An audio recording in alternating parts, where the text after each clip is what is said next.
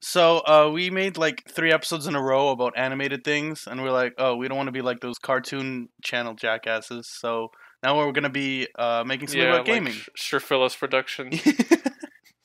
so now, we don't now we're gonna be the for only sure. thing worse, which is one of those gaming channel re- re- re- rejects. So which is also animated technically. technically so, speaking, yeah, most of the time, yes. Uh, you know, whatever. so yeah, that's we're mu- Maybe mainly- most of the time. When is the game not animated? uh, that time I asked, which was never. So fair point.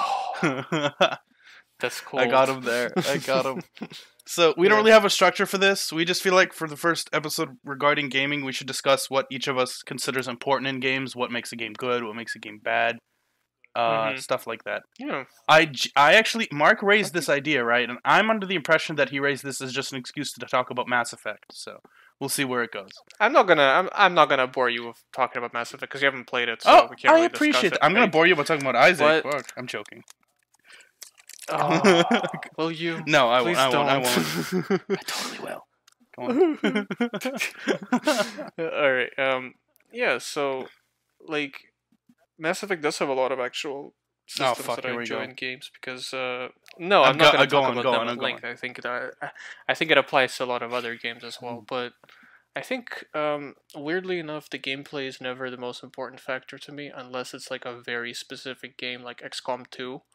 Right, where I just play it just for the gameplay, or like Resident Evil, Yeah, you you really or, don't play uh, XCOM for shocking- stories. Surprising, surprisingly enough, I play Resident Evil for the gameplay and nothing else. Um, He's mental. That's why. How the but yeah, like my fa- my favorite because it has really good. Jeez, it's insane. satisfying It's ridiculous.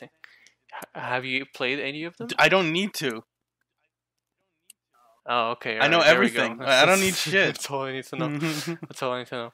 Anyways, yeah, for me, like story and characters are always really important because Mm. I, I just I don't know why, but what it is about it. I just find games such a satisfying storytelling medium. Like, I can have a really mediocre story for twenty hours in a game and a much better story in a two-hour movie, and I'll be much more invested in the twenty-hour mediocre game. you know what There- I there's mean? definitely I don't know what it is. like there's Yeah. definitely something to be said about Video games are just the, the they're by definition they're interactive, right? So the Mm-hmm. fact that you are actually interacting with things make things a lot more I don't even want to say necessarily um, immersive, just involved. Yeah. By definition of what you do in a Yeah, game, you're you're, more just more involved. Exactly, you're more invested. As great as a movie is, you're not controlling Uh, any I of can the play a game for.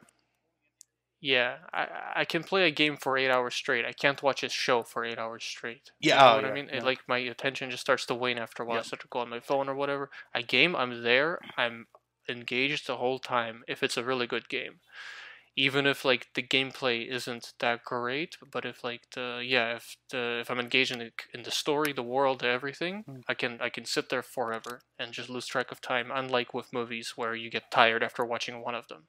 See, uh, this this is You know? what. Yeah, I fully understand that. Like, even though I understand where Mark is coming from, I'm sort of the opposite in a lot of ways. Where um, I if, if Because it you're wrong. No, no, it's because I'm based and epic, and also my penis is large, right? so, so um, it, it, like games with poor narrative but decent gameplay, I tend to be able to sit through. Interestingly enough, but Me too. Yeah, it depends. too. Yeah, which is a fair point. But like for example, the best example I, can think of is Rage Yeah. the first rage. I'm just gonna finish this Mhm. and you can go on, Mark. Because uh, honestly, the gameplay isn't even that good in that game. It's because shooting the sh- shooting mutants with a shotgun in that game feels so great because it's designed by id, right? They know how to make Yeah. a satisfying goddamn shotgun. But it is genuinely one of Mhm. the worst narratives I've ever experienced. Because the enemy that you're dealing with is just referred to as the authority the entire The game. authority. The authority. it's so bad. The first rage is genuinely an awful game, but I played the whole thing. I've played um the first hour of Rage 2 and it was one of the worst things I've ever experienced because you're not shooting anything, you're just experiencing the beautiful world and story Wow. of the Rage universe. The the and I just I never picked it up again. the magenta no, I, I agree with you. Mhm. Yeah, I can put up with uh, mediocre storytelling if I find something like either relaxing or fun. Remnant. I, I love to put on podcasts and just play video games. Mm. Yeah, but Remnant I think has really strong gameplay. Honestly, like for what I agree. is. No, I agree. I think it has really, really good feeling gunplay and like a good dodge roll and everything. But I'm saying it has really bad narrative. a lot stronger than like. It does. Yeah, Yeah. that's what I'm saying. I'm not discounting games with good gameplay and bad narratives. Mhm. I'm just saying I prefer the ones with good narratives over the ones with good That gameplay if they don't have good narratives. Uh, but sometimes you need, sometimes you need to just put on a podcast and run around getting a checklist. that's off, very true. yeah. Look, what's Yeah. interesting is uh, Mark, Mark talks Mhm. about how he's able to sit through mediocre gameplay if it has a really good narrative, right? And uh, Yes, that's yeah. almost that's You can't. I can to an extent, right? Uh, it depends on the game. For Mhm. example, the first Bioshock, I'm going to get Vegas. lampooned for this. Fallout New Vegas is another good example. But the example I wanted to bring up is the first Bioshock. I'm going to get lampooned for this, but the gameplay in the first Bioshock is actually kind of lame. They made a lot of improvements in Bioshock 2, I want to say, even though the narrative in that game is abysmal. so, the narrative in I- Bioshock 1's really good, but I, Hmm. Go on. the gameplay in Bioshock One was one of my like more favorite parts of it. See, he's I fucking really enjoyed weird. the He's gameplay in fucking the first weird. Bioshock. Just- um, it didn't carry the game. I, I kind of played the game just because I wanted to experience it, right? And because I had to play it for class as well.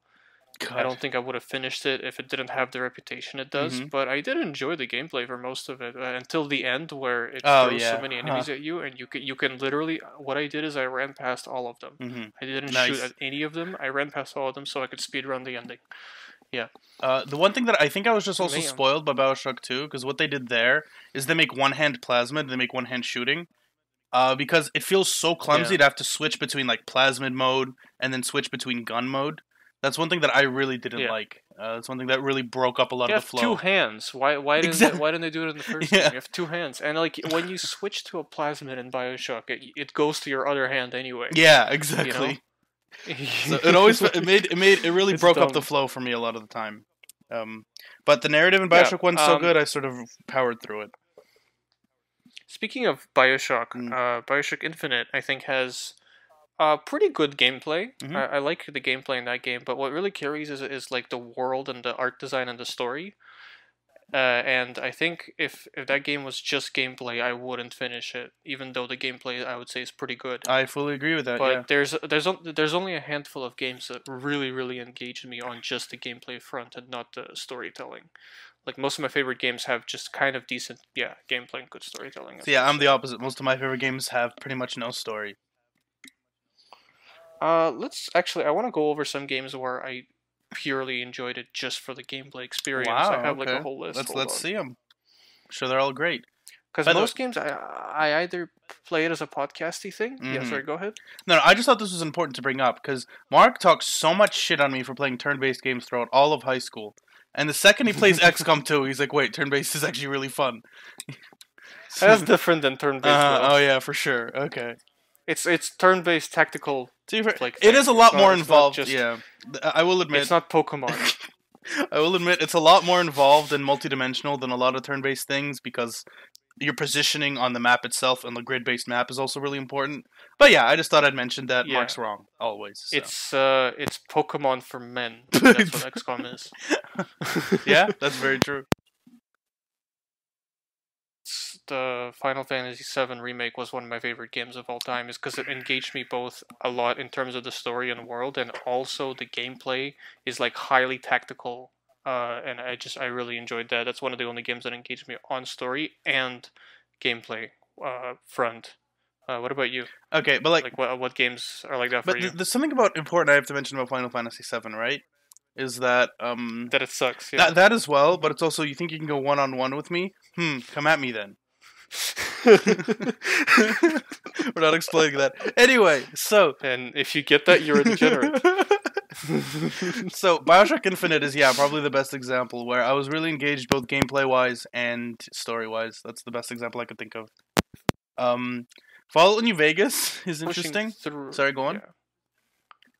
Bioshock Infinite, I feel like I was pushing more through the gameplay to get to the story Mhm. instead of playing instead of having like a neat balance like like Final Fantasy VII where I feel like the gameplay worked sort of in tandem with the story. Mhm. But in Bioshock Infinite, I feel like I, yeah, I was just pushing through the gameplay and I wasn't playing it. Like there was this whole combat trial DLC, and I'm just like, no, I'm. Not Oh, I did not get very no far point. in that. Yeah, I paid for it, so I tried it. I did not get very far. It was not great. Yeah. What What were you saying Uh, before? but like, like one thing that I did notice is that one thing that's that I, a lot of games struggle with is connecting plot to um, gameplay itself. Yes. And as much as Oh, I yeah, yeah, yeah. as much as I love Bioshock Infinite, I do feel like it feels like fighting cutscene, fighting cutscene, where the thing you just fought doesn't For really sure. connect a lot of the time. Yeah. Especially because A really Yeah. egregious example of Mhm. this, yeah. You continue, you continue. A really egregious example of what you were just Mhm. saying is uh, when I was playing the first Last of Us. Oh God. um, I, I feel I feel like I feel like for example the God of War four was Mm. heavily inspired by it and Mhm. it did it a lot better because in God of War, the new one, uh, all the dialogue and cutscenes are so heavily integrated into the So gameplay fucking good, segments yeah. that you don't even Mhm. notice because like you'll be like talking to Atreus like right after a fight or right before or even during right and then you'll have a cutscene and then like it's but in the Last of Us when I was playing the first Last of Us, it was literally like a thirty to forty minute level hmm with some dialogue here and there, and then it would cut to black for like a half for like a second, right? And then it would play a cutscene that looked nothing like the in-game gameplay, Mm-hmm. and it was just it was really baffling to me how. But I could see how other games were inspired from that to make it like to integrate the two better. Yeah, especially God of War. But yeah, 4. um, God of War 4 to Last of Us is exactly fair, but I do see your point. yeah. Uh, I think a game that integrated the story really well with the gameplay is actually XCOM 2. Yeah, yeah. Because that whole game is about you starting from nothing, right? Yeah, about ah, I you literally like just sucking so hard against every enemy you face, and then throughout the game, you you both get better at the game, and you also get better Yeah, like troops exactly. and better uh, equipment, and that's kind of the point of Mhm. the game is building up your forces, right? yeah, exactly. It's really similar. Uh, I'm going I'm just gonna briefly bring up Mass Effect Three. It's really similar to that game because in that game you're also a commander and you do a bunch of side quests to get more like points towards your galactic fleet Uh-huh. and how many points you have by the end kind of determines how good of an ending you get Interesting. too. So you do the side quest to help people from different galaxies and stuff, and then they join your cause, and you get like a literal number in like a war room table that's telling you how ready you are for the final mission. And I thought XCOM did something similar, where you would gradually build up your forces and then face off against the final threat at the end. Okay, so, I thought it worked really so well. So you're talking more about how the base building actually connects to the narrative, not necessarily the turn-based combat. Well, well, the base building feeds into the turn-based. I know, because exactly. you upgrade your armor and your true. weapons. But Yeah. what what the, the very the very fact that it's turn-based combat sort of does not necessarily take you out, but it's like well, a lot of the time turn-based combat tries to like represent real life things. Like uh, the reason you can only go a certain Mhm. distance is you only have that much time, something like that. You know what I mean? Yeah. Where yeah, it's it's interesting. It's interesting how they they play that around with turn-based combat. But then you have like real time games like XCOM. Like there's this game I played called Shadow Tactics, Sho- uh, Blades of the Shogun, which That's is a real-time stealth XCOM. That is And a it sounds terrible horrible. title. That is such it, a bad it title. sounds horrible and it plays horrible, and I don't like it. I would rather it just be turn based. Yeah, that makes sense. Yeah, but uh, it's just like the way they tied the progression of your personal strength as a player with the narrative of you becoming stronger and taking on the aliens, yeah, I really I have to agree as well. The the base building which Mass Effect into that as Three well. does as well. Yeah. So you're saying Mass Effect uh, Yeah, ripped off uh, XCOM? That's what you're telling me. I think it came out before. yeah, basically. Okay. I'm you're right. okay. Sounds good.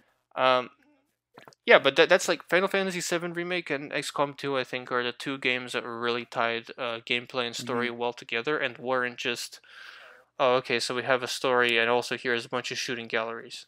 I actually have an interesting example to bring up where the narrative is shockingly awful, but the gameplay is so good we suffer through it. I think you can guess what I'm about to bring up. Uh, hold on, let me try. Uh, uh, is it? Hold on, I'm trying to think. I believe in you. I, I know. you. I, I I think I have something in in my head. Can you guys guess we Um, don't script these? Um, all right, go ahead. It's I, the I Middle know I Earth have something games. in my head. It's I the just Middle can't Earth place games. it. Right. Yeah. How could I forget? So middle. You know what's funny go though? on. The gameplay in those isn't even that great. It's just, just- the way they combine a bunch of systems to Yeah. get mediocre systems together makes it really I good. still sort of enjoy hitting orcs with the Yeah. sword. I don't know. I still enjoy the basic loop overall, but I do see what you're Yeah. saying. It's not really necessarily what you're there for. So that's why. That's why. It's not. Go on. y- You're not there for the combat of that Yeah. game. You're there for the context around the combat and what you're doing, like towards achieving. You know, Mhm. it's it's really cool. They're really cool. Yeah. So yeah, so I, I just I love bringing this up because it's such an interesting anomaly to me, where the gameplay itself is nothing special. The story is like genuinely skip worthy. Like even the first time I played it, I would like actually Oh, skip the su- cutscenes. They are so boring, It's horrible. It's so bad. It's horrible. And yet, the f- two Middle Earth games are like the only game, like some of the only games I've ever hundred percented yeah, because they're so much because fun. they are so much fun. They really, I really feel like they should give off the Nemesis system to someone to some decent writers. They can make a really good goddamn game. they uh they really um they really combine that system so well with the design of the open world and Yeah. the actual combat. Mhm. Like I think the open world by itself isn't that great, the combat by itself isn't that great, but combined with the Nemesis system Mhm. and the way all the different orcs interact and stuff and have their own little factions is so cool and like satisfying. But if you take those elements on the great. Yeah, it's it's such a, a fascinating anomaly of games. I love those games. Every time we remember that, every time we I talk about them, I feel like b- playing them just because they're so satisfying. yeah, like yeah. it, it's they're like the definition of games you can just kind of pop on and go around and kill some shit with some with a podcast in the background. Yeah. it's great. and it will it will feel semi different every time too. Yeah, is cool. exactly. Like It's like, not just but man, the, character you're forced to deal with, the the cutscenes, everything, it's just so bad. Italian. It's just so Troy bad, Baker. so bad. Troy Baker. Yeah, He's also in Mass Effect 3. of, what? Of course he he is. plays an Asian character for some reason. He really? plays a Japanese assassin guy. You're saying he doesn't Yeah. play a scruffy white dude? No, wow, he doesn't. really move He forward does for not him. play Shepard. Good for him. No, I'm kind of happy for him. yeah. So, Mhm. oh, here's another Um, interesting. Sorry, this is unless you had something to say. There's a topic I also wanted to bring up. No, I don't have anything to say. I was just gonna say if we wanted to move on to the next Oh, no, like, so- oh, aspects, sorry. but you go ahead. I had yeah. one interesting thing I wanted to bring Mm-hmm. up when it comes to narrative, audio logs. hmm Oh, oh no. so what's interesting is I actually think the. Bioshock games did this fairly well, where the audio logs are actually completely unnecessary for the overall story in general. But uh, if you're while you're fighting junkies, you can listen to some extra backstory. I I think that's not terrible. in the uh, I disagree in Okay. the first BioShock because for me I have such a hard time paying attention to audio logs Mhm. unless I'm like super invested in the world right already because the game did a good enough job introducing me to the world and then gave me audio logs but I feel like all of the world building in the first BioShock is done through like the audio logs. Oh, interesting. I just didn't find them interesting enough to get immersed in the, the world at all, which is why I, I didn't like the game. Bioshock Infinite, you don't have to listen to any of the dialogues to get the story Yeah. and be immersed, you know? Exa- but okay. Bioshock 1, you, you it relies on them a little too much, I think. Really, I haven't played Bioshock One in a long ass time. I fully, Mark's probably Yeah. very correct here, or he's a moron. Who knows? Yeah. But I was just, I was primarily bringing it up, yeah, because I remember it most vividly in Bioshock Infinite, because that's like the only. Okay, I played Bioshock Two like seven times, but I replayed Bioshock Infinite fairly recently, so I do Yeah. remember it there. And you really The- don't the need. audio logs in that are good, Yeah, but they're not necessary. yeah, I agree. Which I is what I like. I sort of like that it's not necessary because Th- if you feel like you have to listen to them, sort of can distract from the game. Mild spoilers for Bioshock Infinite. I feel like Mm. the the level where you where Elizabeth gets captured. I knew right you were gonna bring that up. end. Yeah, go on. Yeah, and you listen to like the audio logs, so because you, you apparently you were gone for like five minutes, but you really you were gone for like fifty years or some shit, right? Mhm. And the way they kind of like do this fifty year like character development of uh, Elizabeth through the audio log through like very minimal audio logs in that level is really good. I think I have to agree. Yeah, I. you can kind of you can kind of hear her becoming like brainwashed from all the Mhm. torture she's receiving, right? Because because because you lost her essentially, and it's like it's the most heartbreaking shit ever. And that was like the only good use of audio logs in a game for me. you make me sad. She's like one of my favorite characters in anything ever. They, she didn't deserve this. Oh, Uh, that's great. She's awesome. Yeah, Okay, yeah. So yeah, that's Yeah. that's a really good point. I actually completely forgot about that, and you br- bringing that up is yeah, that's very true. It's a very good point. There's one more thing about audio logs Yeah. I want to discuss actually, because I personally believe that Subnautica did it fairly well, and uh, it could be part of Mhm. it could be bias because I fucking love Subnautica, but at the same time, Mhm. a lot of that game is swimming and getting to places, right? So having yeah. What makes sense to have audio logs exactly. Yeah. So it makes a lot of sense to have audio logs as well. So you can just listen to stuff in the background. And the thing is, actually listening to them is most of the time completely optional.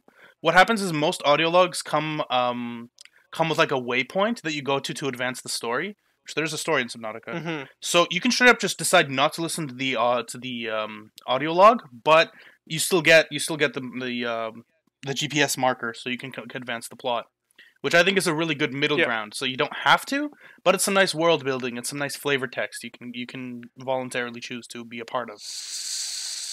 Subnautica is like built for listening to something while you're Yeah. playing it though, because there's no like there's no dialogue or sounds in that game really that you need to pay attention to. You know. So it makes sense that they give you some. So I think I think it makes sense for those. okay, great. So I'm Yeah, not just biased games because you don't like um, Subnautica. So. Go on. There's some games that have audio logs that also feature a lot of like dialogue throughout the levels Mm. and I- think that doesn't work well because you want to listen if you want to listen to the audio log you got to stand there and listen to it which is the most boring so thing in the world. bad. Yeah. like in fallout like in fallout like you could you could um encounter a, a dialogue scene at any point Yeah, right it's pretty funny. but they have audio logs as well and it's like what the hell why is this here so you play Fallout yeah. New Vegas. um they still have some of that, but i did like um Go on. How in um sorry i'm gonna i'm ke- gonna keep bringing uh, up mass effect because i just played I called it. I called it. but they don't do audio logs in those Mm-hmm. games you kind of just look at something and then it shows oh codex entry added and you go to the in-game codex and read about it if you want and it's it's all very interesting and i think that's i don't know i, I like that approach as It's well actually but mainly because their their world is so well like developed and fleshed out i, I actually wanted to read that shit. It's actually weirdly enough they actually do that in Doom as well. Uh, like yeah, 2016 and Eternal. I'm some, building in doom is so like you know it's it's yeah you know exactly what I'm about to bring up right. But there's this little air there's this little moment in the beginning of Doom 2016 where um the, like Samuel Hayden contacts you and is and is yeah, shouting exposition at you and Doom guy just fucking punches the screen. Oh it's great It's so brilliant. It's so good, right? Even though they cheat a little bit, because later on there is a section where you're sort of hanging out in his office for like ten minutes, but I don't think it's a huge deal. It's still really funny. Mhm. But still, yeah, they were under the impression that you know maybe some people want to read some bullshit for no reason. So there is codex. There is shit you can read in that game. i don't know why I, I've never met a single human being who does, but it's interesting that it's there. they went a little ham on it in eternal Yeah, they went a little too hard on the on the bit. codex entries in Doom Eternal, and I'm like, this is this isn't this isn't fucking Game of Thrones. Well, what are you doing? I, I do like uh, sometimes they're like these little joke entries because sometimes you can read the codex and actually get good advice on how to defeat certain enemies. Oh, And s- yeah, and, Yeah, that makes yeah, sense. And, and sometimes there's these little joke answers like like hint, shoot it until it dies, stuff like that. That's pretty So, good. yeah. um, Which is another. That's are also, you ready to move on to the next Oh, one? yeah, sure, I think I can segue pretty Oh well. wow, segue. Yeah, let's so this this brings me to the next um thing, which is player choice in games, and how important do you think that is? I want to go first because I have a bunch to say about this. That's a great transition. Mark, So, continue.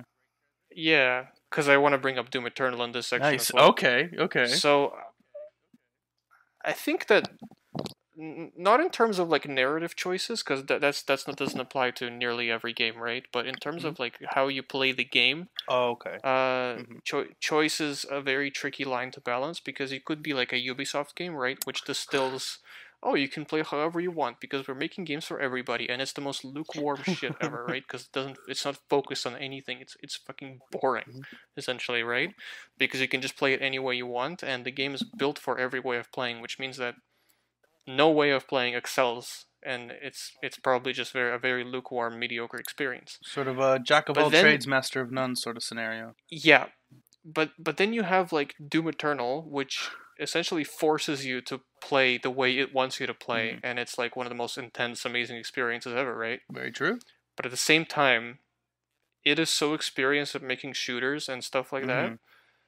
I feel like nobody other than like a super experienced shooter developer would be able to pull Yeah. off something as restrictive as Doom Eternal and make it fun. Mhm. You know what I mean? Because it essentially knows better what is fun than I do, which is why they're forcing me to play in the way that Doom Eternal is supposed to be played.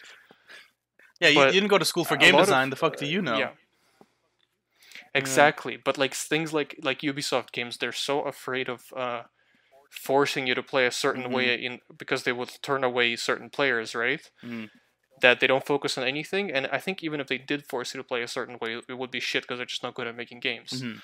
But it's a very it's a very fine line, I think. Yeah. It's like- you're just sorry, um, because he brought up Doom Eternal, right? So now I'm not going to be able to shut up, right? Because it's one of those flawless games of all time. Oh, what it just it's very That's so interesting. great. Yeah, Yeah, it's love it. incredible. I love it so much. But uh, one thing Mm-hmm. that I you say that it's restrictive, which is true. But at the same time, the reason why I think it's wor- it works is because it's restrictive, but at the same time very versatile. Where, It's it's restrictive, and through being restrictive, it forces you to, to be versatile, exactly. To, exper- it it forces you to experience every aspect of the game. so yeah, what? Uh, because mm, go on. yeah, for example, I feel like I was getting. sorry, I'm gonna keep bringing up Mass Effect 3 because it's in my mind. I was getting bored with the combat towards the end of that Mhm. game because I kept using the same weapon the entire time Yep. and it was just working the entire time. Nothing was changing, right? Doom Eternal forces you to use a different weapon Mm-hmm. for every single enemy type, and that makes it so much more fun Exactly. because you're not just stuck to doing the same shit for eight hours, essentially, They- right? they did like in yeah. Mass Effect 3, I, I was doing the exact same thing for 30 hours, and bored by the end. Like that's what's Yeah. interesting is that the, the answers for problems like this are always so simple. All they did in Doom Eternal was just slightly limit the ammo you get. So Yeah. people can't just be and also yeah. ha- make exactly. Certain like that up. hmm you know what else they did? Yeah, yeah. They throw so any so many enemies at Mhm. you, you can't afford to not dispatch them efficiently. Yeah, exactly. That's a, such a good way to put it. Yeah, exactly. And certain Mhm. enemies have certain weaknesses, right? Like the force field guys, they explode if you use a plasma rifle. The Cacodemons swallow the grenade. this is incredible in its own right. Yeah, but yeah. yeah. So it really forces you to like, yeah, it really it like uh, there's this term I like to say where it says puts its dick on the table, right? Where Literally, Doom Eternal puts it its dick does, on the table and it's like you have to play this way or you will die a lot unless you play in like ultra ultra easy or Yeah. whatever. But like a lot, even uh, Mhm. even you played on easy and even then it was still a bit of a struggle. I played on easy and it was still challenging. Yeah. like not talking shit on Mark, even though I totally am. But yeah, that's the idea. No, I play everything on easy. Yeah. I'm just gonna admit it right now. I play everything on easy. I enjoy things that way. I don't see what dying countless times is gonna add to my experience of a game. I just don't see it. Yeah, he's he's a little bitch. That's why. No, I see what he's saying to an extent. I just I don't unless it's a roguelike. Okay, Unless it's a that's roguelike. exactly what I was gonna say. Ah, you gotta play more Isaac. But yeah, anyway. So yeah, so that's a really good point. Where what Doom Eternal forces you to do is it forces you to be versatile through its limitations, which is no other game Mm-hmm. is has been able to bring it up. I had an idea for an episode how Doom Eternal ruined first person shooters because now any other first person Oh, yeah, shooter I yeah. play is just it's just slower Doom Eternal. It's it's it's it's Yeah. it's exhausting. It's not just slower. It's like, why shouldn't I just use the boring assault rifle the entire yeah, time? exactly. You know what I mean? Like, like I know it's boring, Mhm. but I can I can keep using it because it's a viable strategy. Meanwhile, Doom Eternal is like, no, you have to have fun to beat it. Exactly. that's, yeah. that's a really good way to put it. Exactly. Yeah, it's just it's beautiful. I love it. But at the same time, again, as as, as I said earlier, it's a double edged sword hmm because I fucking I hate Dark Souls for this exact same reason. God damn it.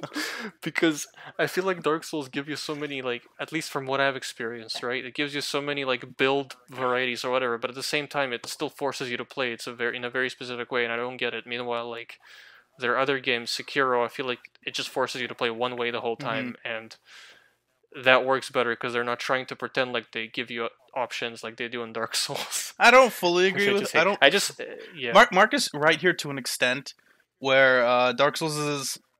I'm I'm gonna be honest with I'm gonna be honest with you. I, I think Dark Souls one and two are genuinely awful games, like in terms of a design perspective. I think Dark Souls three is their first game that's Mhm. actually genuinely playable and actually has some build variety. But yeah, for, for Dark Yeah. Souls one, Dark Souls one especially, they accidentally made the Black Knight weapons extremely overpowered, and if you don't play with them, you're gonna it's just it's just it's just not the same experience.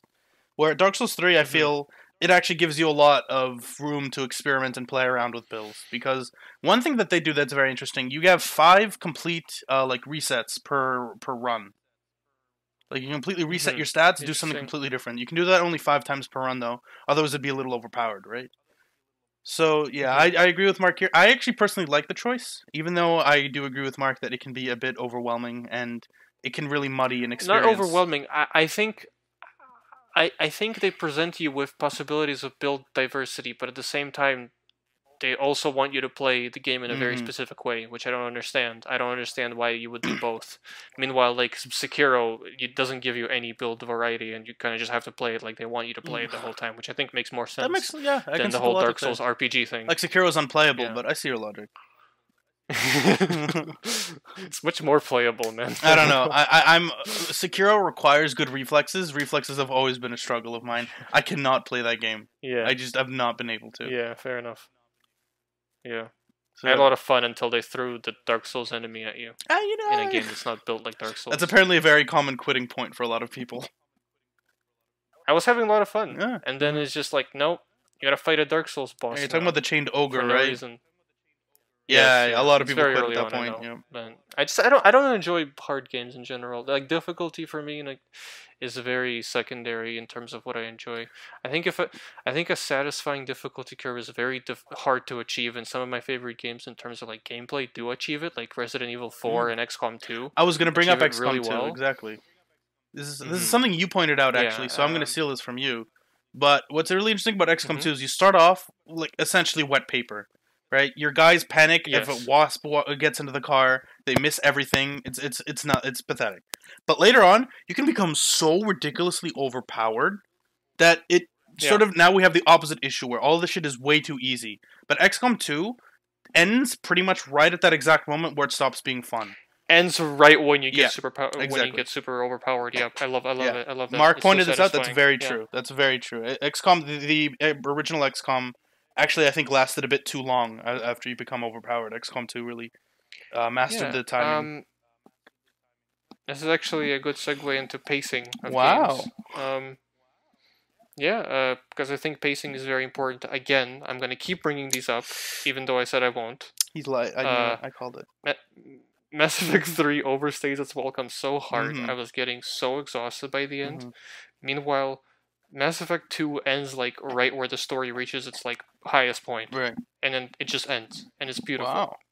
Mass Effect 3 g- reaches its highest point like 10 hours in, goes on for another Mhm. 20 hours. I was fucking exhausted by the end. Yeah, what, what games do you think have good pacing, John? So this is actually interesting. I wanted to bring this up as well, where uh, Doom 2016 is essentially Doom Eternal. Oh, yeah, yeah, a exactly. example, you know, yeah. he knows Mhm. exactly what I'm going to bring up, right? Where Doom Mhm. 2016 for, was a lot less intense, I'd say, than Doom Eternal, and was a lot less. And, and I don't want to say is actually the opposite. Despite it being less difficult and less intense, it was a lot more draining for some reason. I was, was yeah. For some reason, I was not able to play that game for very long. As much as I love Doom 2016, Doom Eternal, Same. I finished in like 3 to Mhm. four sittings or something ridiculous like that. It's just so difficult to put Doom Eternal down. yeah, it's because they have the downtime in between. Yeah, right? exactly. But If it was just because Doom Doom 2016 is just shooting the entire time, much, yeah. which sounds great on paper, but it's really not. Mhm. It's it's if it's if it's at 11 out of 10 intensity for eight hours straight, you're gonna get exhausted Yeah. after the first like hour or two. And it took me months to finish Doom's 2016, even though I loved it. Yeah, I because of this, because it was so exhausting. Doom Eternal, I also finished in like two or three sittings because it was just like there was the platforming sections which, Yeah. which, get- which get too much hate, and I actually like them.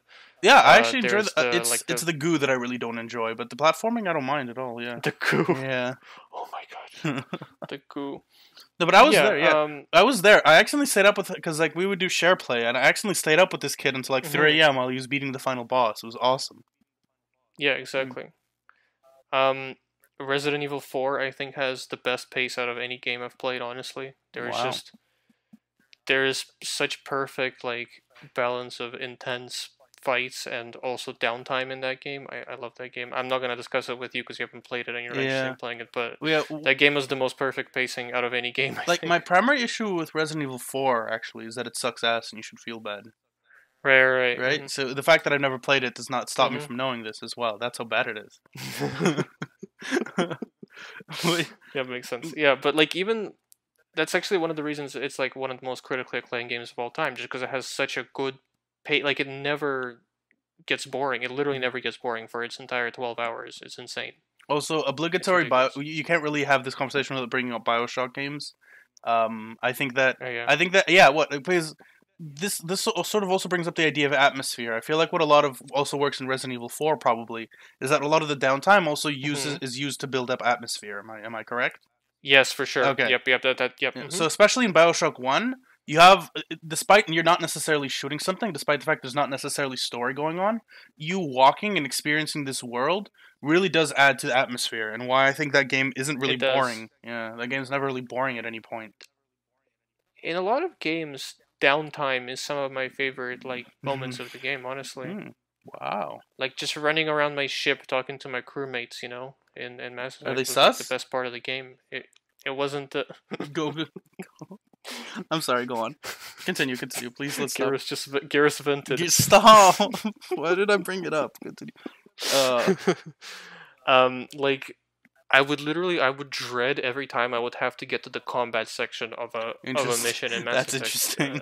Because I'm just like, I just want to run around my ship, talk to people, and listen to them talk, and have the world building. I don't want to fucking shoot anything. Like, stop. See, now this is this is also a really good place to bring up Fallout New Vegas, where as much as I adore that game, the downtime in all Fallout, all 3D Fallouts except for four, actually, I'd say, is unbearable because they decided really? they decided to have no sprint button. Like I'm sorry, I hate to be Oh, that God. guy, but having to walk through Yeah. this gray wasteland is so boring. And that's why mm-hmm. one thing Speaking of yeah, Fallout 4, on. Speaking of Fallout 4, what do you think? Do you think that having a limited stamina for sprinting adds anything to no, any game? never, absolutely never. Except for like Dark Souls or Yeah, whatever. to some extent, because there's stamina management, work, right? management there, right? But no, to pretty much any other game, no, Mhm. never. Yeah, it's just why is the what's the point of having limited sprint? Yeah, so this is I don't. this is again the issue with Doom Eternal, where you're constantly sprinting in that game. You're constantly so, so now you give me a stamina bar from how long I can sprint. Are you joking? I'm gonna go play Doom. Eternal. Like, what do you want from me? literally. I think one of the reasons Doom Eternal works so well too is because uh, why it just doesn't. Uh, first of all, there's no reloading. Oh, great. Mhm. Uh, I don't. I don't understand what reloading adds to anything either. I don't understand what It's all about, like, adds. Wh- What's interesting is that it's all about like sort of resource management, right? But what's interesting about Doom Eternal is it has so many. I know. I know. It, it has so many Yeah. other resources where not needing to reload doesn't really actually affect much. Is what I'd say. D- Doom Eternal has actually engaging resource There we go. management, and not just oh let me let me stop shooting at things and reload now. Like, oh, you're low on Which is not ammo. You're low on source- ammo. Chop that guy in half. It's fucking awesome. it's great. um, what did you have anything else to say about um, this topic? pacing specifically, no, not really. Um, I feel like it's difficult Um, to go on. Yeah, you go first. Speaking of resource management, what are your thoughts on crafting in video games? I f- I don't know. hate I, crafting. I kind of don't mind crafting. I think it's kind of cool. I think it's kind of fun. I hate it. Well, you like like survival games. Yeah, I sort so of like you like crafting. I feel like checklist type games are the flawless sort of podcast games. That's why I love Subnautica so much. Where y- Yahtzee, Yeah. Yahtzee brought this up, right? Where crafting sort of feels like it's a shop, but there's just a lot of different currencies. I I agree. I agree. Yeah, I. No, no, But- the the thing that kills me about most crafting is that a lot of the time you have to just run around in a empty area collecting shit. Mhm. I feel like crafting can be more engaging if you do different types of objectives in order to get the resource you need to Uh-huh. craft something instead of just running around an open world and collecting flowers or some shit and to craft like a special bow or something. See, Mar- Like, Mark. just lame to. Mark exclusively plays Minecraft creative mode, so I don't think we should really trust his opinion. I don't play Minecraft at all because I don't like Minecraft. Fucking piece of fuck. Ugh, disgusting. Yeah, I Mm. want to blame Minecraft for this rise of these cancerous survival games that are just everywhere. I hate them.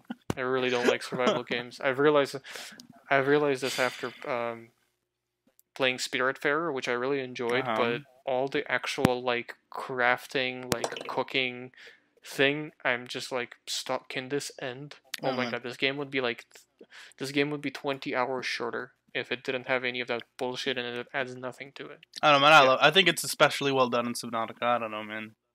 I just, I just, I, this is like nothing. No one's really right here except for me. But this is just going down to what you enjoy.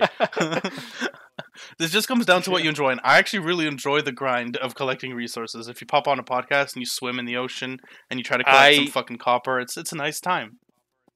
I enjoy grind in certain games too, but I feel like going to an area and clicking on something isn't engaging. Interesting. How? I'm like joking. I going, go, like just going somewhere, clicking on a flower, bam, you got a flower now. You need twenty more of those to construct this. That's just so boring to me. I, really like. I don't know. I really like sort of. How do I put this? Like self sustain, the ability to obtain self self sustainability in games, where uh, you reach a point where you don't actually have to go out and hunt for food. Your farm is good enough that it, that it can feed you. It's actually, um, it's, Subnautica actually lost a lot of its charm for me when I actually was able to obtain uh, self sustainability. I didn't actually have to go and hunt it for shit. Yeah, Uh, and then uh, Which that's when I decided to end the game. Yeah, because the whole point is you're trying to reach there, and then when you reach there, you're like, oh, yeah, what now? yeah. Which is Mhm. very interesting Yeah. because XCOM 2 is the same thing where you reach the state of being overpowered super soldier, right? Mhm. At the end of XCOM 2, and that was like. Yeah, it was awesome for one mission. I'm Mm. sure if it lasted longer than one mission, it would have been lame as. Yeah, even though you worked for 30 hours to achieve that goal and Mm-hmm. then when you get to that goal you like the game knows you don't actually want it you, know, Yeah. you wanted the progress of getting there yeah, it's not. don't A, know, it's yeah, it's really. It's not about the. It's not about the end. It's about the journey. You know, something like that. Where Mhm. the journey is Yeah, often the most fun exactly. pa- part of it. Yeah, that's exactly correct.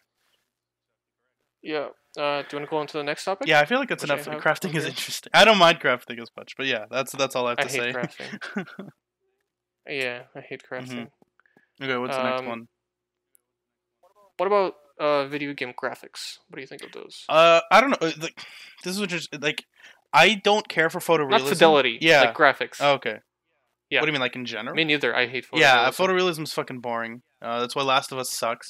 hmm Uh, I always, yes I've always. it looks so yeah, boring hate it. despite having the best tech in the business Like God of War Four, I think did a really good job overall. Because yeah. yeah, because That game looks really good. even though yeah, even though everybody looks semi-realistic, Kratos, ah, beautiful man. Sorry, I got distracted by how beautiful Kratos was. But yeah, that's sort of the, that's sort of the idea where the humans there look realistic, but also th- th- there's a really important term here, uh, stylized, which I feel is very Yeah. important in game graphics. art style. Art style, exactly. Mhm. So if you just make photorealism, there's no style there. It's just oh, that's just a dude. Good for you. I think uh, whenever I look at, at at a Call of Duty game, I want to throw up. That's a good. I'm just thinking to myself, why is this a video game? Like, there's no reason for this to be anything. You know, it's just. I don't know if you noticed, but I just killed that guy. I think like Call of Duty is ironically one of the worst So- looking video oh, game franchises of all time. I have to agree. and it's just like it's all proud and gray Mhm. and realistic looking and it's like why what's the point Mm-hmm. of anything what's the point of art if you're just gonna make it look like real life i don't get right. it No, I uh, have to I do I do I, I I I do like I am I am sometimes impressed with like actual fidelity in graphics Mhm. like in God of War for example War, right yeah. or Horizon Zero Dawn has really cool looking graphics but th- those games are carried by their art style Mhm. mixed in with the Yeah, semi ex- exactly. That's Yeah. exactly what I was going to bring up. Where there's sort of a bit of stylization there, but there's also a lot of photo. There's also a bit of realism. Yeah, it's sort of best of both worlds. yeah Oh, what's interesting. What are your favorite looking games? Okay, go I, ahead. no, no, yeah. So, so that's what I was. I was actually. I was actually going to segue into that as well, where we sort of have Mhm. three ends of the spectrum here. We have photorealism, we have photorealism mixed with stylization, and then we have pure stylization. have full stylization. Yeah, A great example I want to bring up is actually Papers, Please, Mhm. where the art style in that game is extremely unique to it, and no one actually looks like a Yeah. human in that game. Mhm. But at the same time, it also looks kind of real. yeah, at the same time, It's they look human enough that you can identify with these blobs of color. Yeah. So he does a really good job there. That's another great example of uh, pure stylization, where there's no photorealism there at Yeah. all, but it still happens. It still manages to look great. Yeah. Um, Bioshock Infinite, I think, is a is a Mhm. must for because that game that, that game is like what almost a decade almost Mm-hmm. a decade old at this point. Not almost. It came out like what 2014, I think, Mhm. Or something like and that. Elizabeth something is still the right? most well-designed thing ever created. So but like the cartoony art style Mhm. of that game, that game is not going to age. yeah, that's a really good. It's just That's a really good It- way to put it as well. Is things that attempt photorealism look so fucking funny now. Uh, a good example I can think of Yeah. is Gears of War. oh those games- That wasn't attempting photorealism. They, it just to an a shit art extent. style. Okay, my bad. okay, probably. Yeah. Yeah, like you, yeah, you that look. doesn't look good. Uh, Bioshock Infinite isn't gonna age. Yeah, at all. I agree. That's actually a really good point. COD already looks dated. Like COD from two years ago already looks dated. Yeah. Because there's nothing unique about it. There's no art style to look to Uh, look at. Speaking of multiplayer shooters, um, I think you know what I'm gonna bring up. Oh yeah, I think I I, think Overwatch is one of the be- best looking games ever made. I think Overwatch Overwatch is never gonna age like at all in terms of its visuals. It's just it looks perfect. Like the art style in that game is perfect. See, okay, I'm gonna bring up an even better example, right? I think because this is uh, we're transitioning a bit early, but we can transition to character design for a little bit. Because that's very that's Mm-hmm. very closely tied to graphics. Now, the first game to ever have good Yeah. character design is Mark knows what I'm about to bring up is Team Fortress 2. That is the first Sure. game to ever have good character Sure. design. Because What about Mario or Sonic? That is what, what the fuck? Fuck off. I mean, back I know what you mean, but like in the in the multiplayer sense, I feel like that's in I the know, multiplayer yeah. shooter sense. But yeah, probably the first most well designed game ever was um, uh, yeah, Mario. Good enough. Team Fortress. Team 2. Fortress 2. but well, because I actually I have something else to say about photorealism. wow, okay, Just briefly. okay, go on. Uh, and uh, one of the reasons, like some of my one, some of my favorite Resident Evil games, I think combine photorealism with Mhm. stylization, but not in an overt way like um, God of War does. It's Mhm. very like subtle stylization, but I think it works really well. You don't Okay. know what I'm talking about. I have about. no clue what he's talking about. Yeah. Okay, thanks, Mark. Resident. Evil Two is like is like photorealistic, but also stylized. It's, I it's really Thank cool. you for that worthless bit of information, Mark. I appreciate it. I'm joking. That's me. but again, I'm gonna keep bringing up Yahtzee if we ever discuss video games because that man Mhm. is brilliant and he said basically Yeah. every smart thing ever about video games already. Zero punctuation. Zero punctuation, yeah, like the escapist Yahtzee from Zero Punctuation.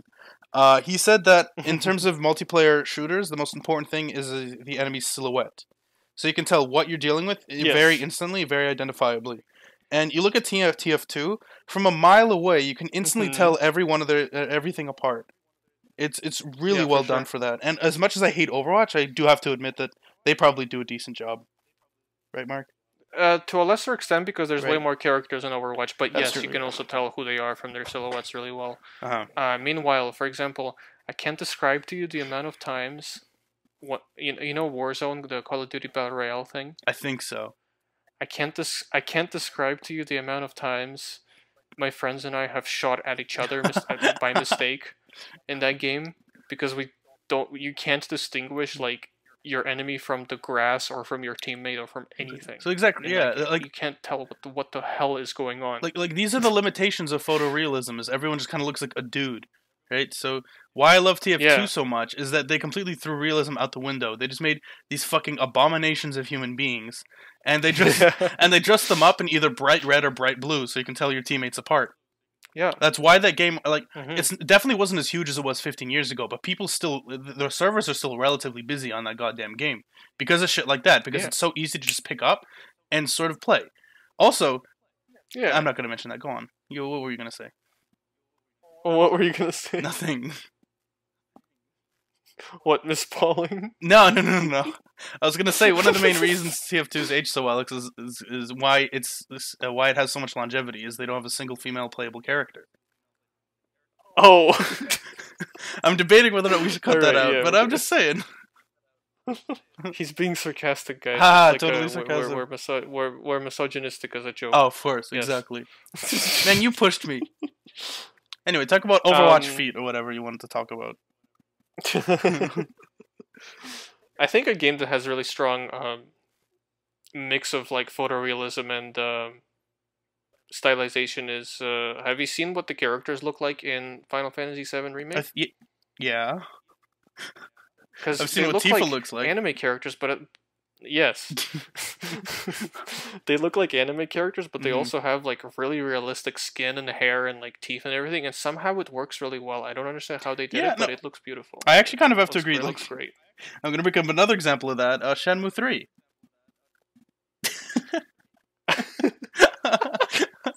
you gotta admit, No, that's not a good example. you gotta admit, they go for a very similar thing the Final Fantasy VII went for, Uh, yeah, They- where everyone Yeah, looks I anime guess. but also looks semi-realism. Although to be fair, they probably ripped off Yakuza more. but Final Fantasy VII is like one of the most like gorgeous looking worlds ever created. I think, Mm. and the characters are amazing. Like you look at their sprites for you, you look at their 3D like polygon models from the 97 game and compare them to the current one. It's very close, but at the same time, the new ones look like actual real people, but also anime. char- It's it's beautiful. Yeah, I love it. I love the character design. Exactly. They, game, they yeah. mesh photorealism with stylization, which is interesting because the original Final Fantasy was pure stylization. And I'd argue that Well, the yeah, new ones 8-bit, exactly, right? and I'd argue the new ones probably look better. Mhm. They do look way better. Yeah. So and anybody that I think seven is the only one with like a really really cool Mm. distinct art style, which is why it's the most popular one. I, I- you and people can say, oh yeah, I like the story and characters more than the other ones. No, no, no, you like the character design and the world more than the other ones. Oh wow. like I guarantee you, ninety percent of the attachment, like even my attachment to those characters, I think it just comes from how they look and sound and the world they exist in. I don't Right. think they're actually. I, I don't think the writing in Final Fantasy VII is strong enough to carry it. I think the art design and the character design carries it. Yeah, and and um, they're fat globular tits, especially the That ones on. Cloud. which the, which they do. Yeah, which they do. Stop. Oh my god. Fuck. Oh. Okay. But yeah, there, there's a very fine balance between photorealism and stylization. And I think if you lean more into stylization, it's going to be more I timeless have and to just agree. better looking. I fully agree with that. yeah. Well, some of my favorite. I w- I'm only going to mention this briefly because I'm gonna. I can instantly imagine the sigh that Mark is going to let out as soon as I mention it. But Darkest Dungeon is one of my favorite. Is one of my favorite games ever. Mark, are you there? Yes. Okay, I wasn't. I was unable to hear you for a second. I apologize. But yeah, uh, Yeah, Mark. yeah, dis- my- my Mark. Yeah, Mark disagrees with me here. He doesn't love the way a Darkest Dungeon looks. I fucking love it. I think they they lean into stylization extremely well, and the art, the, just the general art style of the game is just gorgeous in my opinion. I think they did a really good job because Yeah, that's all. you know, you know what's on a similar plane that I really like how it looks. Wolf Among Us. Oh, that's a really good. Wolf Among Us looks really good. It looks Yeah. like a comic book, but I- also oh. like a. It has like 3D models. It's it's the, one of the only examples of 3D models with like cel shading that look Mhm. really good. Because I don't think Borderlands looks that good, honestly. or honestly, The Walking Dead Among probably looks go- better than Borderlands, but Wolf Among Us really perfected it in my opinion.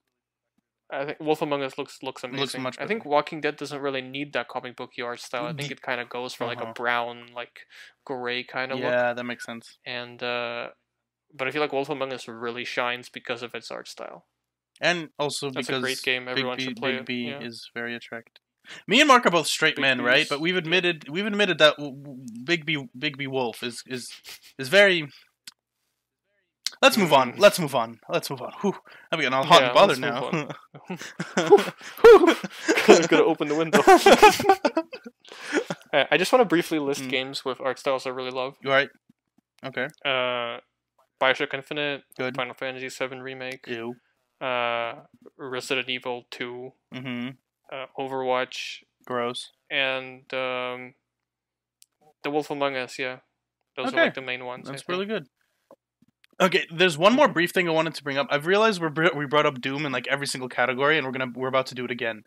Where, for Yeah. example, Doom uh 2016 had this pretty big issue where bringing a lot of the stylized sprites of the original Doom games to 3D, they had a lot of issues to deal with, and I feel like a lot of the time they sort of resorted to give them a vague skull face.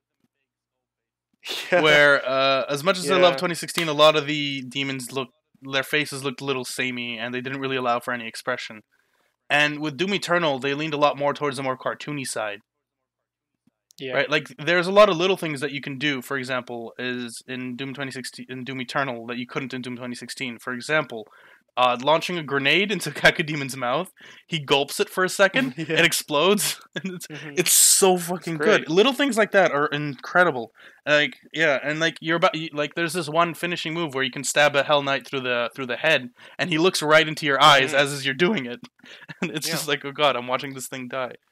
So stuff like that where At the same time, Mhm. though, yeah. At the same time, though, I think I prefer how 2016 looked over Ooh, Eternal. okay, I think I think Eternal looks very garish and early 2000s. mm-hmm.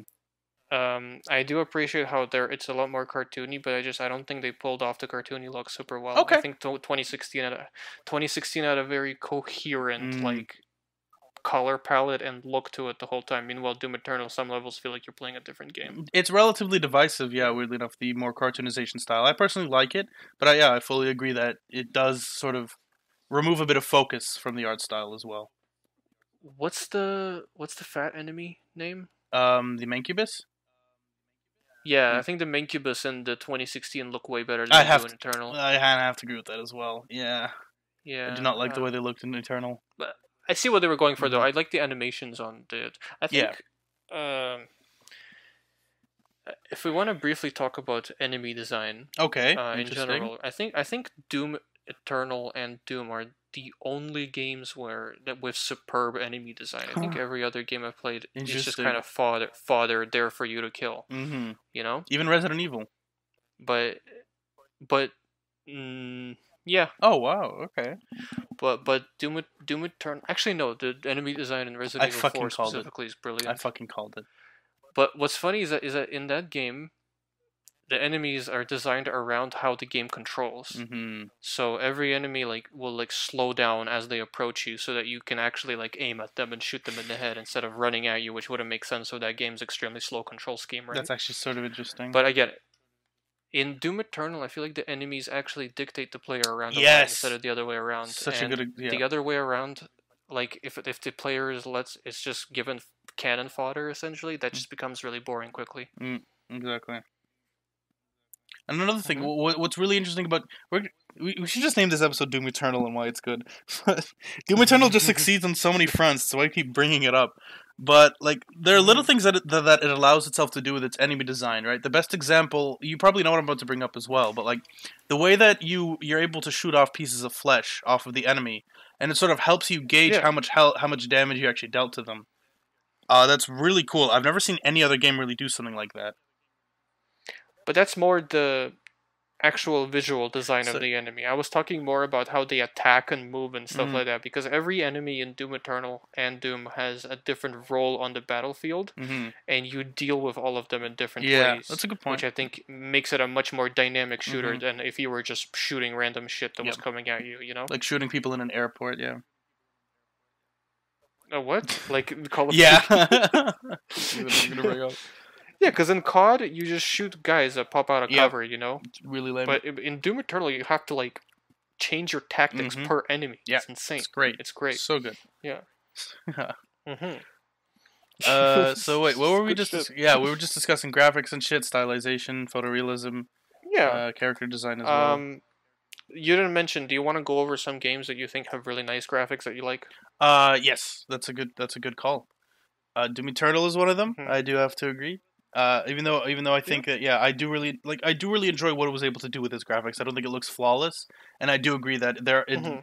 What it what it, it took one step forward, two steps back, uh, to some extent from Doom I 2016. just don't like the color palette. Yeah, I fucking this guy with his color palettes. I swear to God, That's part of. That's like half God. the graphics. What do you mean? God, I hate him. Are you colorblind? Darkest Dungeon, I think, looks incredible. I could just sit around and stare at that game a lot. Uh, I think that what Mhm. what uh, Papers Please does with its limitations, I think they did a really good job. And uh, I'm also going to bring up Hollow Knight, although Mark might disagree with me there. I think that Yeah. yeah, Mark is going to disagree with that. I think it's a really It's cute Tumblr bug. bait. It is Tumblr bait, but hey man, Tumblr has some good artists, so eat my dick. it does. And yeah, Um, it's- Yeah. although yeah, we should make an Episode. I want to quickly shout out an indie game. I really love. Wow. Uh, it's called Mark of the Ninja. It's like Oh, a, good example. it looks like a Cartoon Network show, but it's like a 2D stealth game. It's awesome. I love that game. Uh, he it looks really good. He share played it with me. it yeah, looks like pretty the yeah, it looks really good. I think that game looks amazing. neat. I didn't really prepare a list, but yeah, just Darkest Dungeon. I'd probably say Reign Supreme is one of my favorites. I just really love the way the game looks. Yeah. Able to sort of uh, communicate Yeah. a lot of despair without any actual dialogue. what? Fair enough. Yeah. No, yeah, that's true. yeah, all right. Yeah. I think the way Kojima games Ah, look is unique, despite them being mostly photorealistic. I don't know how he does it. Unique is certainly a word. Yeah, yeah, it's Mhm. certainly a word. certainly a word. That sounded that that sounded like a like a Yahtzee moment on a podcast right there. What you just said. Nice. I, I, I like. Unique is certainly a word. I'm definitely the Yahtzee of this, by the way. Just so we, just so that's clear. You are. So, But yeah, um, I do think. Okay, I, I want to bring up a game we both really like, but I don't think it has a great art style. Okay. Um, uh, Spider Man. Mm, yeah. Okay. Go on. I think Spider Man. Spider Man. I think is really bland looking, like Mhm. the PS4 game, Yeah. because it's it wants to be comic booky, but at the same time it wants to be realistic looking. Mhm. I just I don't think the mesh quite works, and I'm not a huge fan of that. I do have to agree with that. Yeah. It looks oddly. Yeah. It looks oddly over polished, but also unfinished in places. I can't really explain it. It, it just yes, parts of it just Yeah. look off. It's like not quite like real life, but also not quite cartoony enough. And the way they design Miles, I don't know what the fuck is wrong with Miles' face, but like people don't look like that. he, he looks much better in Um, Miles Morales. Mark, no, he looks much better in the Miles Morales one. Like I'm serious, no. Just something about his face Does just he? looks off. Yeah, he looks. His face looks better in Miles Morales. I'm not sure what they did, but they they they fixed it. Oh, interesting. Interesting. I think he just got a haircut from Miles Morales. Ah, there we go. See, maybe that was the issue. Maybe it was his bum ass yeah, haircut. that game. That that game sucked. that game. that was a game sucked. I explicitly let Mark buy at full price so, to to let me know if it was good. And, well, my brother really wanted to play Ah, it, and he beat it in a day in one sitting. that makes so, sense. Yeah. Yeah. But yeah, uh, not a great art style. Mhm. Also, um, I want to bring up The Last of Us. I Mhm. think that game looks extremely Disgusting. bland. I think Naughty Dog consistently has every resource a studio would ever need, and their games always look so boring. Yeah, I have to agree. Like uh, Uncharted has no art direction Mm-hmm. whatsoever. Um, neither does The Last of Us. They just, they, Yeah, they fall under scruffy white dudes so often. It's just it's just lame. Yeah, it's not. It's not even just the character design. It's just like the environments in general. Yeah. Like you could make such a more, like again, I'm gonna bring up Resident Evil, also a zombie game, right? With uh, over-the-shoulder camera and you shoot zombies in the head. Uh, Right. Resident Evil has has much cooler art direction and a much more interesting art style than Last of Us does. And I think it's just because it came from Japan and they're crazy over there. That, that's a very fair point. Yeah. but like Resident Evil 2 remake looks photorealistic, but at the same time it has very distinct like architecture design and, and character design and everything. hmm Last of Us I think looks photorealistic and is also just like boring looking. Like it just doesn't look interesting at all. Yeah. No, I can definitely. I I can't even put my finger on it. Some something in the Resident Evil games looks very distinct to me, even though it doesn't have like a very very like overt art style to it. I- think you it- I think don't, I, don't, I can't what, really what a lot of it could be is the fact that it sucks shit and should die, while other games aren't necessarily like. but what's it, okay? This is interesting. You just bring up Spider Man, right? And there were 2 Mhm. instances where I played a game at Mark's house for like a solid five minutes, and I decided, yeah, I'm paying like basically full price for this. Mhm. First instance was Spider Man Mhm. PS4, and the other was Crash Bandicoot 4. And it's Mhm. interesting because in terms of art style, I think that game really succeeds in what it's trying to do. Oh yeah, Yeah. Crash Bandicoot 4 is also one of the best looking and best animated I games I've seen. yeah. Like even little And things. it's not gonna age. Yeah, ag- agreed. Like y- y- y- Mhm. like there's this little thing at the very end of each level where you can you can choose to Mhm. continue or replay the level, and there's a little animation he does. He's all like, "Yeah," if you want to continue, and he's like, "Eh, whatever." When you want to replay and stuff like. that. There's like little things like that. Yeah. That's actually another bullet point I had. Oh, nice. Animation in video games. wow. What I think we are on top of the these ma- transitions, man. Yeah, uh, I think uh, the main thing that actually attracted me to play Overwatch is the animation. It's Mhm. just the animation in that game is like amazing, and every you know everything you need to know about a character without even hearing them speak or reading their lore. Interesting. Yeah, Wow. it's just like it's so well animated. It looks like a Disney movie minus the over animation that they do all the time. And Crash Bandicoot 4 also has really good animation. It does. looks, it looks like an actual animated Yeah. film. In the in the cutscenes, like Ratchet and Clank. insane. Didn't they just use actual footage from the Ratchet and Clank movie? Yeah, Yeah. and they also use the CGI asset from the movie. That's pretty good. for Clank, which is pretty great. That's I pretty think. good. I think animations are very important in a game to define characters and uh, make cutscenes engaging Mhm. instead of just. You know what? One of my main pet peeves in games, Mm-hmm. like if you have an RPG, for example, and there's a big world, and you go talk to a bunch of NPCs Mhm. or whatever, right? And then you talk to an NPC, and the camera is like, it's still the same camera as when you were walking around, and you can move it around and stuff, but you're locked in place and you're speaking. To Oh, that is NPC. so It's the most weird. Boring shit ever. Yeah. It's the most boring shit ever. I would much prefer like a, even if it's like a shot reverse shot, right? Uh huh. Interesting. Like they didn't yeah, Fallout Four. like uh, The Witcher Three, they had like a whole thing. they- they had a computer, they had a computer algorithm that would like set Oh, a that's scene interesting. With lights and stuff, Huh. and it would like it would automatically cut between characters when they spoke lines and stuff, so that it's not just boring shit in an open world, you know. I'm So actually it's like more. It's like every conversation is a cutscene. It's Mm. great. I'm glad you bring up The Witcher 3 because like I'm gonna consistently talk shit on Witcher 3 just because it's one of Mark's favorite games, but it's just it's also a shining example of You played it for 15 minutes. it's it's just a shining example of the game that I'm assured has an incredible narrative, and I believe you. I believe that it has a really good narrative. I'm just not gonna play it. I cannot stomach the gameplay at all. It's just the epitome of that. Where I'm sure the narrative is incredible, I'm just never gonna be able to see it. you do the gameplay for maybe 20% of the game. Yeah. And the, the 80% of it is just the narrative. And that twenty percent I wasn't able to sit through. I don't see what the problem is. Uh, eat my dick and die. Well, the game.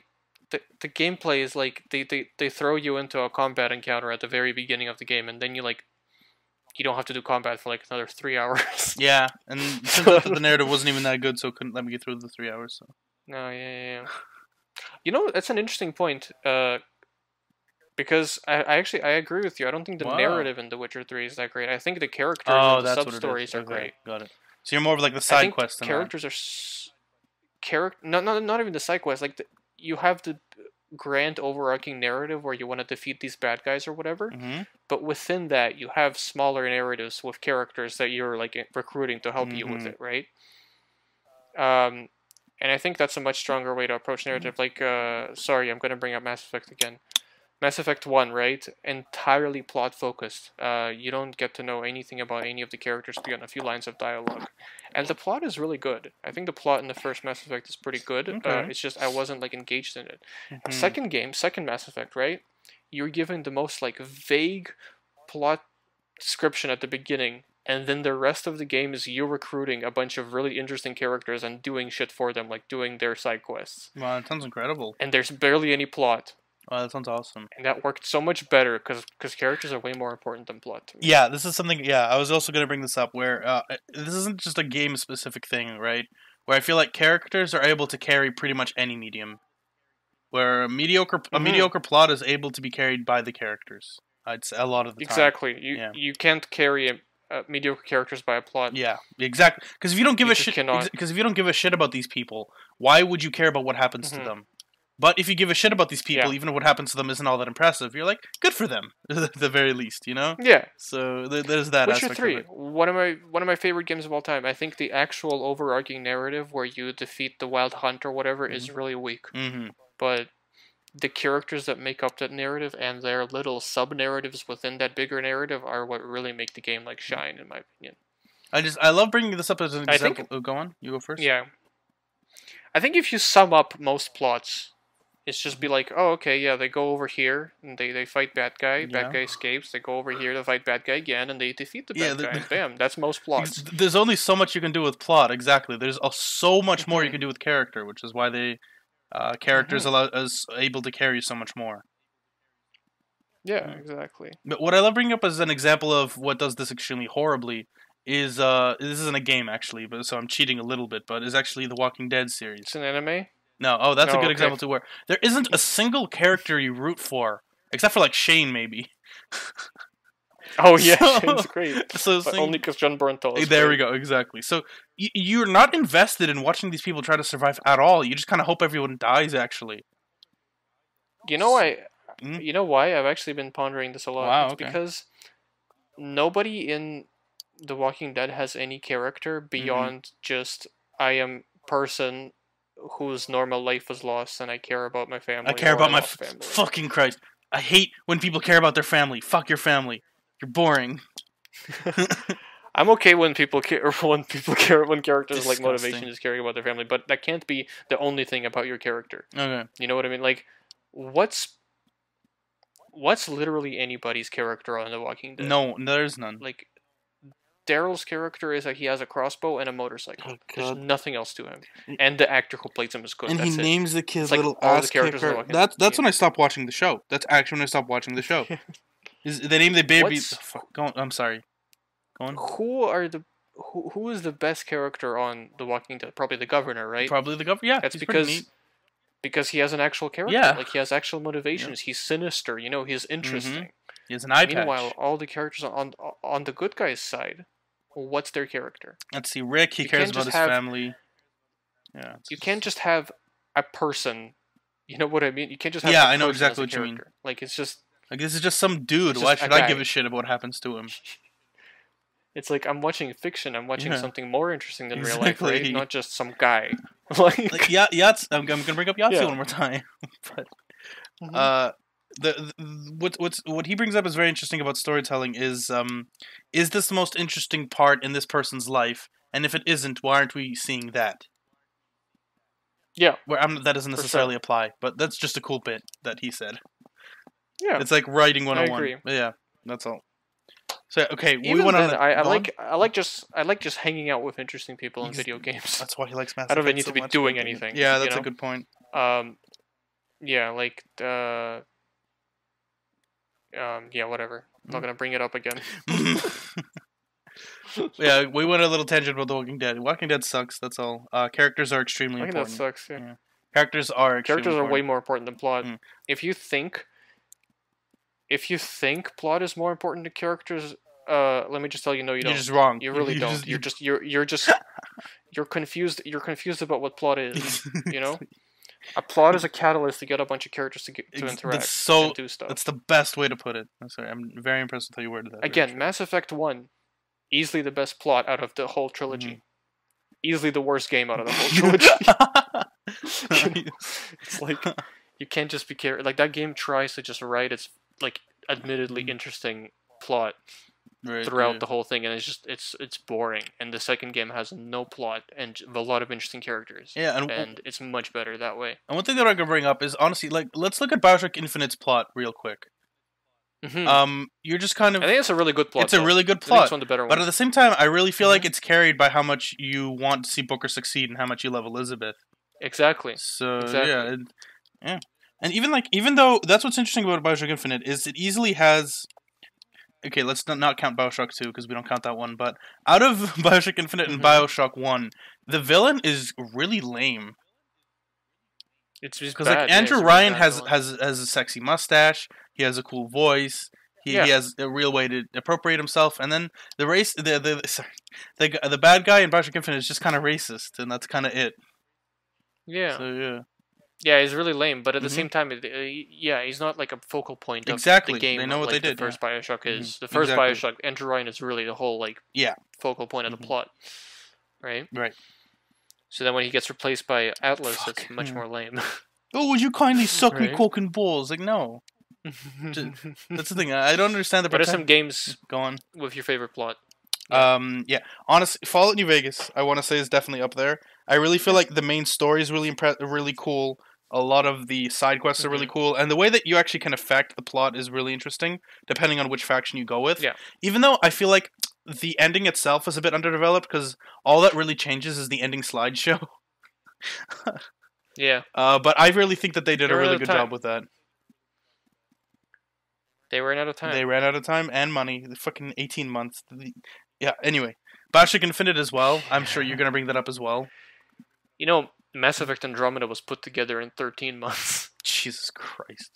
yeah, that- it right. 'Cause They shows. had like no direction, and they're like, "Wait, hold on, the wait, the release date's coming. Fuck. No, All right, well, it shows. It we're, we're gonna make the game now." I actually, that's an interesting thing about modern Bioware, which is like that company that makes those games, Mhm. right? It's, I think they they came up with something really good like one time for Dragon Age or something. They made that game in like a year or something, oh, nice. and then ever since, they're like, all the execs are just like, oh yeah, just work your Bioware magic, and they just crunch in like the last year, and they put out like garbage. Like Nice. Anthem was crunched in like the last year. That's Nice. just what they do now. They're like, oh yeah, just work, just work your magic Just that work- you did that long time ago, and it's like that's no, that's not how it works. Yeah, try to recapture lightning in the bottle, I guess. Mm-hmm. And even then, it's not a good way to work. Yeah, not at not all, a good way to cram everything into the last twelve months. Yeah. Exactly. Exactly. not. Imagine making a whole ass AAA video game RPG in thirteen months. I, I cannot. I cannot. No. That's one thing about indie games is indie devs have no sort of. It's sort of a double edged sword here, and where indie devs they have no like uh, expected release date. Time constraints. time constraints, but at the same time, Mm. you look at shit like Yandere Dev, right? No Man's Sky. Or No Man's Sky is another good No example. God. Or um, the. Binding of Isaac. Holy sh! Like as much as I'm loving the Binding of Isaac right now, Repentance was delayed like seven times, and I, I, I, I Yeah, which is fine. yeah, exactly. I'm not someone to complain about uh, delays. If you if you're really working on the best thing possible, then delay as many times as you want. It's just interesting because most AAA titles wouldn't be, be able to delay seven times. That's just a distinction. You know I what I think? Um, from the outside, what what if, what which big company has a good like, well, except for like Naughty Dog, has a good uh, sort of uh, like I think Sony has a good uh, understanding of this kind of thing because Hmm. I think like that that new God of War game, right? The God of War Four. right? It's so polished Yep, and perfect yep. in every way. Mhm. You feel like you feel like they just let them just work for however long they Yeah. want it, and then they release the game. It took like five years to make. Mm-hmm. It literally Uh, that game took it. like five years to make, and it's, Yeah. it's the most polished, perfect thing ever. Yeah. Same thing with the Spider-Man. Same thing with Ratchet and Clank. Right, every all of those. Like it's just it's so Right. polished, and you don't feel like. Even as I was playing Mass Effect Three, I can like I'm like I can tell you were you were rushing this. You know. Hmm. Towards the end. Meanwhile, like Spider-Man and God of War and even like Ghost of Tsushima, and I'm like, I can tell you had all the time you needed for this. Yeah, like again, and I'm- it made a much better product. Like I'm going to bring up the Binding of Isaac Repentance again because it was a DLC that was announced in 2018, and it came out in 2021, and it was more incredible Yeah. than I could have possibly imagined. So, good job. Take your time, guys. Just wait. Just wait. Just wait. Just wait. Yeah. Yeah. Exactly. Just wait. Yeah, uh, Final Fantasy VII remake. I think was in like development for like eight years or some shit. Wow. and since Square Enix has all the money in the world, they're just like, yeah, just. I you know what I think? You know what's funny? You know how that game came to be? I think it was a tech demo for the PS3, oh and then people were like, "Wait, we we want this. god damn it. we actually want this." So then they're like, "All right, we'll release it on the PS3," and then it came at the end of the PS4's life life cycle. Okay, so I'm going to actually. I'm actually going to show us an opposite end of the spectrum here, where uh, something that actually really struggled from long, really long development time. Uh, Duke Nukem Forever. I'm not saying it can't be done. Yeah. S- something that struggled Hello? from. Hello, can you hear me? Yeah, yeah, I can. So- I'm, I'm not saying you can't be bogged down by super long development. Yeah, but yeah, is uh, Duke Nukem Forever. Is the best example I can think of. Oh yeah. because Well, that was development hell. Yeah. That wasn't development. no, I know what you mean. Uh, that's a fair point, but at the same time, the fact that it That was lasted 10 pre-production. the, the fact that production Mhm. lasted like 10 years it, it, it sort of forced Mm-hmm. itself to adapt to whatever like the future of whatever gaming was actually doing at those at the time. Yeah. so that's why it's such a mess. Because like, I'm, I'm gonna say this i've said this before and i'm gonna say it again. Duke nukem forever had the potential to be the greatest game of all time. Because if we had something that was as polished as in gameplay wise as doom 2016 or, or doom eternal but had your mom jokes what the fuck else could you want from a video game? Like explain to me. That's the flawless game. That's perfect. Yeah. Yeah. Yeah. Uh, I think something that's similar to that is uh, Cyberpunk 2077 Mm, oh interesting because for for some godforsaken reason they announced it in 2012, right? right They did like a cinematic trailer and then at the end it said coming when it's ready, which is hilarious because they released it before it was ready. Mhm. Um, and I think because it was announced in 2012, I kind of bought into this as well, but I also really enjoyed the game, so I didn't really care. Um, I think people bought into the fact that it was like like eight years in development or some shit when it really Right. wasn't. It was in development for like four years. uh, i see Uh, even though it they was just just they just decided to announce it in like 2012 or some Got shit. it.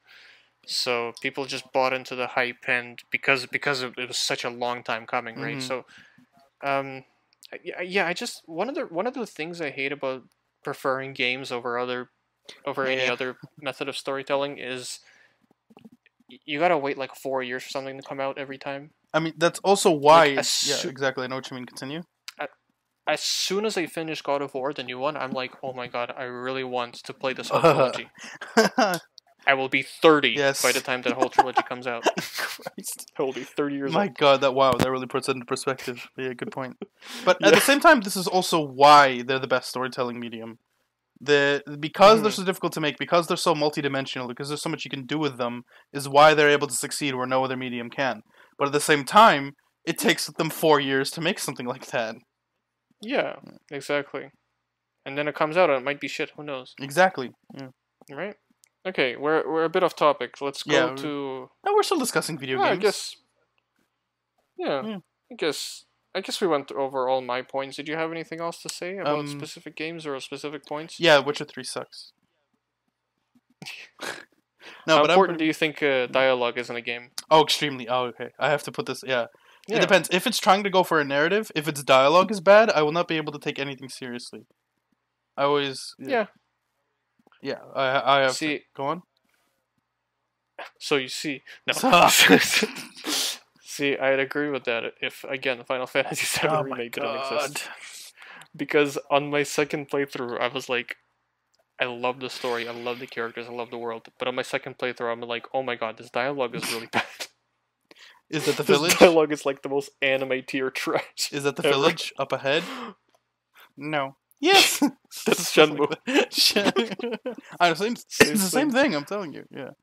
But okay, so for some fair. reason, I'm just I'm just able to overlook kind of like cringy dialog in Mhm. that game specifically. But yeah, dialogue is important. I also want to briefly bring up how important I think banter is in outside of cutscenes. outside of media. I noticed this. I noticed this while playing.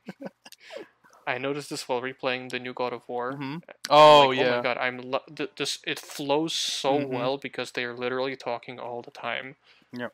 And it's not just you're waiting for a cutscene for something to be said or to happen. You, it feels like everything you're doing has a purpose to it because again, it's like the characters in the world are reacting to what you're doing, and it's not just get from point A to point B for a cutscene like The Last of Us. No, I fully agree with that. right? It's actually it works what it, well. what it really does helps well is yeah, I fully agree with that. That's an incredible example because getting from point A to point B in that game is such a joy because uh, you have you have Yeah. the torn off head dude telling stories and it's some of my favorite parts in the entire game. Yeah. honestly, Mhm. where where you're just like you're just like on a boat. like, yeah. Yeah, you- you're just like on a boat, and your son's like, well, well, what about Odin? And the guy goes, well, see, the thing about Odin is he was a weak cunt. And then he tells a story about how, why he was a weak cunt. And it's very interesting all the time. And because his dialogue think- is so great, and his voice acting, it's another Yeah. thing. Voice acting is really important. I keep cutting you off. I'm sorry. Go on. No, it's okay. It's okay. I think I think God of War ties its story so well with its gameplay Yep. because the Mhm. characters are constantly talking and yep. story isn't just reserved for cutscene. hmm You know, story is being told the whole time in that game, which is why it's such a joy to play, even though it's like 25 hours Mhm. long. Um, and it's not again, it's not like like uh, in some games I'm just like waiting for the gameplay to be finished so I can experience the story. But in God of War, you can't really skip. You can't skip cutscene to cutscene and, and get Because the of the same cutscenes of the game, exactly, Just, yeah. That's not how it works. Yeah, exactly. Yeah, because the cutscene cutscene's the whole game because they're talking while you're Mm-hmm. also doing shit. I love it. I, I noticed that in that game specifically. I think more games should do it. I actually, the first place that I Yeah. actually noticed they did something like that was actually, when we're going to bring it up again, Bioshock Infinite, where uh, there's no actual Mhm, cutscenes yes, in yep. that game. You're just sort of playing, but at the same time, your character's talking. Mm. Right, like for example, you're like taking Yeah. you're like taking a little boat ride, and Elizabeth is like, "Oh, my father's a bitch," and yeah, and you have complete control of your character in this while your character's talking, and you can like sit around and you can teabag Elizabeth if you want. You can do whatever you want. I think that that's actually a really good same way. time, to though, go on. hmm I think Bioshock Infinite does it really well, but I also think that's a slippery slope because if Mhm. you if instead of a cutscene you just have you standing there and another character talking to you, it could get really boring. Oh yeah, that's different. Like I really feel like the Um, the choice of maintaining control of your character is really important in in Infinite. But Bioshock Infinite is brilliant, and one of the ways it's brilliant is because it somehow feels cinematic despite Mm. not taking control away from you. Yeah, that's a really good way to You put know it. what I mean? shit. Meanwhile, something like um, I haven't played it yet, but there's this game called Metro Exodus that I watched the review Mm-hmm. on, right? Where the like the cutscenes are like like five minutes long, and it's just characters talking to each other while you're just statically standing in place. Like there's no cinematic camera work or anything. You know, you don't Wow, say great. anything because you have a silent protagonist, and I'm just like, this sounds It's like painful. I'm here too, guys. and somehow some somehow Bioshock Infinite does it much better, even Mhm. though you you do retain your character. I don't know how it does that. yeah, It's- no, they did a really good job with that. Yeah. Yeah. Mm-hmm. Okay, All I right. Uh, I think what that's I have to say? pretty much everything I- I wanted to bring up. I don't know. Yeah. Uh, if there's Yeah. Uh, the one takeaway from this is play Doom Eternal if you haven't already. That's the one thing to keep in mind. and Resident Evil Four. No, no, don't play that one. Play Resident Evil 4. No, uh, my sum up is I think like narrative and characters are the most important thing in a game to me, mm. even though gameplay is technically what the medium is. I Right. just I don't know I don't know how it, somehow the gameplay enhances my narrative experience, but I don't care too much about the gameplay. God, He's a disgusting human. I don't know how my why. brain works like that. And yeah, Yeah. And what I would say, I always view gameplay as the most important, and I think that if a if a game doesn't tie gameplay to narrative well enough, it's just it just fails in what it's trying to do. But I will admit, character Fair is very enough, important as well. Fair enough. Hmm. Uh, that's why I'll always say I don't think Witcher Three is a very good game. I think Hmm. it's a great experience. I don't think it's a very good game though. Okay, I can live. I Yeah. can live with that. It's a good f- game, but it's not a good Fallout. Stop! God damn it!